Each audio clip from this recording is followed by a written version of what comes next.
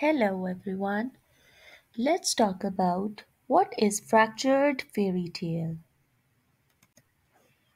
What is a fairy tale? A fractured fairy tale is a story that takes a familiar fairy tale and turns it upside down, making it funny and giving it a modern twist. Elements of fractured fairy tale takes a familiar fairy tale and turns it upside down, includes modern language and cool things that might happen today, has a funny and different ending. Why write a fractured fairy tale?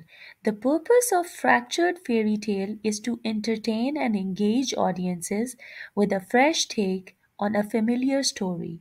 It can be a fun and creative way of storytelling.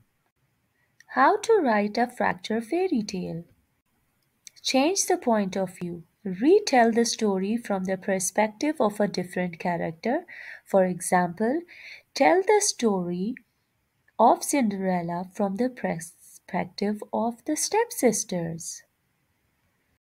Set the story in different time, period, or location. Place the characters in a different setting such as modern day city or a futuristic world. Add a new character to the story such as a talking animal or a magical creature. Include an unexpected plot twist such as having the evil character turn out to be a good character. Give the story a new ending that is similar to the original ending.